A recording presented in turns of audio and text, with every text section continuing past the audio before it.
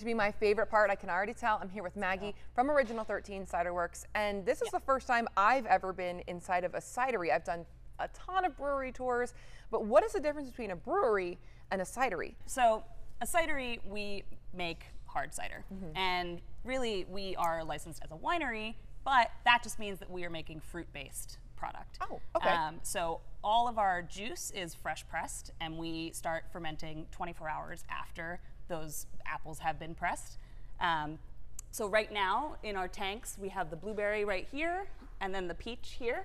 Um, so the blueberry is actually our best-selling cider. Um, we've had it since we opened in 2017, and then our peach is our spring seasonal. Our owner John um, started making the Sir Charles cider back in 2013.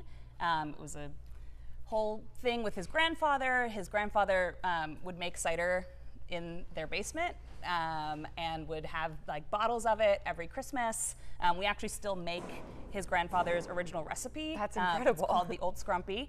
Um, so it goes back all the way to John's childhood. But we, as Sir Charles and Original 13, have been around since 2013. And then we were fortunate enough started a Kickstarter in 2017, and we were able to open this place in October of 2017.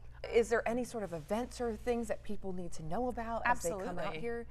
Yeah, we um, we love supporting local arts as well. We've been working with Tame Arts and Artscapes um, for a long time now, and it's every first Friday, um, new artist every single month.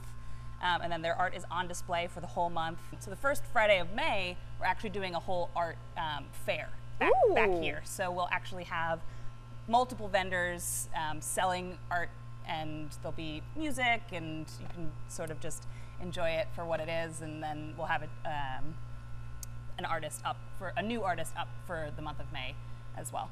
Well, come check them out.